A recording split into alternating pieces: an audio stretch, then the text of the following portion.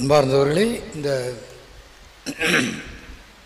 சூசேய பரன்பியம் இந்த அருமையாக இந்த வழிபாட்டை வடிவமைத்து மிக சிறப்பாக பாடி எல்லோரும் சேர்ந்து வந்து கலந்து நீங்கள் செய்திருக்கிறீங்க உங்களை பாராட்டுகின்றேன்.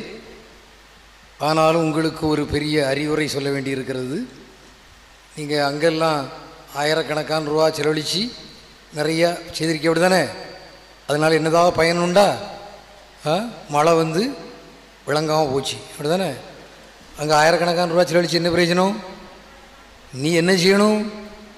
முதல்ல இங்கே வந்து திருப்பலியில் காணிக்கு போனியில் அவ்வளோ முப்பது பேரும் கலந்துக்கிடணும்.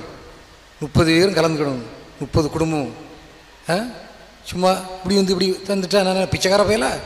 அதில் இந்த மூணு பழத்தை தந்திருக்கிய. இது நான் கந்தசஷ்டி கலைக்கு இப்படி ஒன்று போட அப்படி ஒன்று போட இப்படி ஒன்று போடாதுக்கா? மூணு பழம். நீ லட்சாதிபதினா நானும் லட்சாதிபதி.